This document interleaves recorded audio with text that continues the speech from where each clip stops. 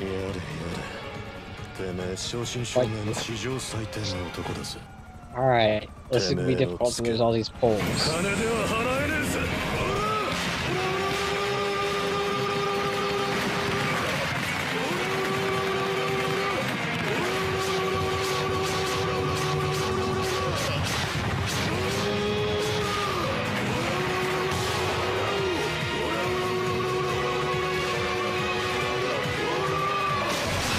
Fuck.